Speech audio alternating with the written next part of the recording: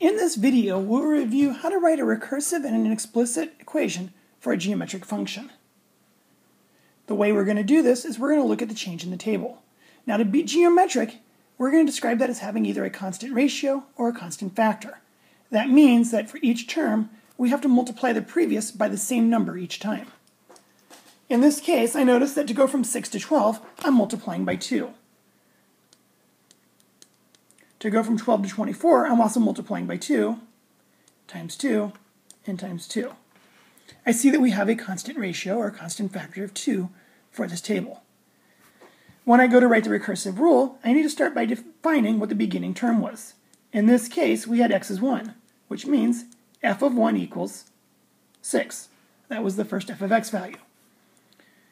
Then, for the recursive rule, we needed to say how any term, which we call f of x, relates to the previous term, which we'll call f of x minus 1. Now in this table, we notice that had a constant factor of 2. So I'll say that it is the previous number times 2. This could also be rewritten as 2 times the previous number. Now, understanding that repeated multiplication becomes exponential, we can use that to write the explicit rule. The explicit rule in this case, f of x equals the beginning f of x term was 6, we saw that we were multiplying by 2 each time, and it becomes exponential. However, for the exponent, we notice that we're only multiplying by 2 after the first case.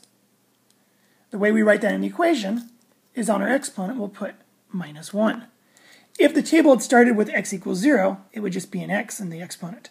If the table began with a, a 5, for instance, we would say it's x minus 5 for the exponent.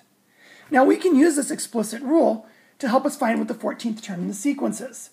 To do this, we will take the equation f of x equals 6 times 2 quantity x minus 1, and we'll substitute in 14. So to find f of 14, we'll take 6 times 2 raised to the 14 minus 1. Now it's going to be simpler just to say 14 minus 1 is 13. Now you're going to need a calculator for this, and we would type in 6 times 2 use your exponent button, 13. When you do this, you'll see that the 14th term in the sequence is actually quite large. It's 49,152.